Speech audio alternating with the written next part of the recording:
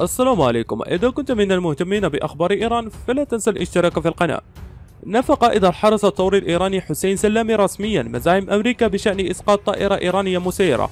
متحديا واشنطن أن تنشر صور أو مقطع فيديو عن الطائرة أو حطامها لإثبات ادعاءاتها. وقال سلامي اليوم الأربعاء إنه لا أحد في العالم يقبل أي مزاعم من دون أدلة.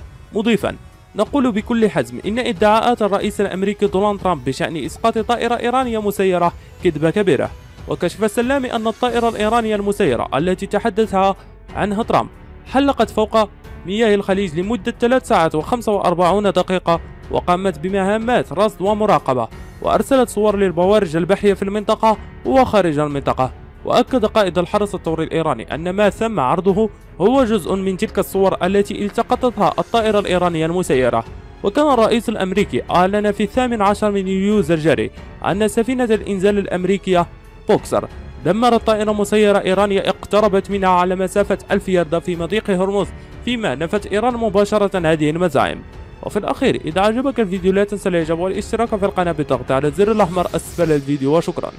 إذا أعجبك الفيديو لا تنسى الإعجاب والتعليق ولكي يصلك كل جديد. اشترك الآن.